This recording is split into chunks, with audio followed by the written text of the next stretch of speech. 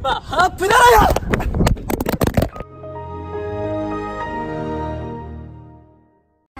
え怖いな。じゃあ潤さんからそらちゃんの、うん、いやだからお初だったから、はい、で、ね、イメージ他の作品とかのイメージも、はい、だからコメディやると思ってなかったので合わせられるかなっていうやっぱ心配の方が強かったですねああそっかそうですよね。でそういうことばっか考えてたんですけど逆に僕が引っ張り上げられたいやそんなそんな。本当に本当に。まあ、どこでも喋ってますけど2話のそのゴッドブローあたりからこいつはまずい。本気でいかないと食われると思って。僕の意識が変わったっていうところなのですいませんあのねあのコメディできるんだろうかと思ってしまって。すいません。もう今コメディの申し子じゃないかと本当に。はい。こんな感じ。ありがとうございます、ーちゃんは？私最初に、はい、このスバのあのアフレコのブースでお手洗いですれ違った時にすごい静かにすれ違ったから、うん、私なんかがお手洗い行ってごめんなさいって言ってか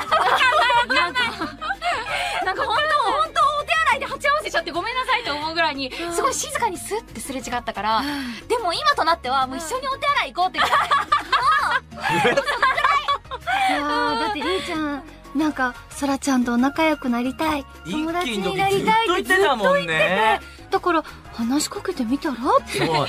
ね。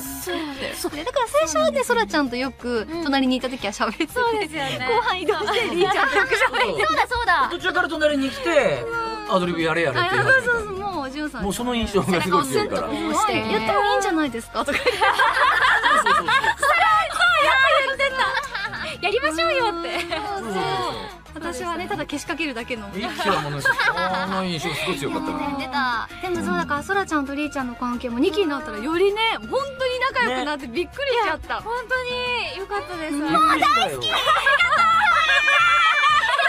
大好きってこんなに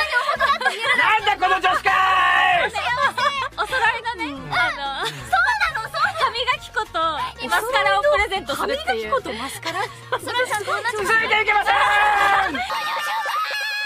この人はなんか印象として、うん、なんかね、プロとしての意識の高さをすごく感じる。ええー、本当ですか、うん、なんか妥協がない。一切の妥協がなくて。うんうん、俺、だからすごい困ってるの。他の現場で泣きの芝居聞いても満足しないの。違う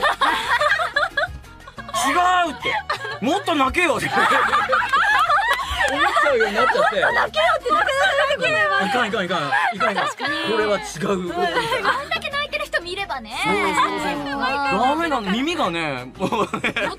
めちゃう。そう満足しなくなっちゃったんだ。だからもし他の現場でそらちゃんに会ったらこれはなんか本来のそらちゃんではないって思っちゃいそうなぐらい、アクアがなんかこう染みついちゃって、ちょっとこの後で共演するのが不安だよね。そらちゃんの泣き芝居とか見るの怖いですよね。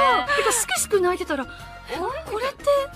ぶってる？ぶってる？朝じゃないみたいな、オフのとこで気持ち悪いですって言えば 気持ち悪いです。いや嬉しいです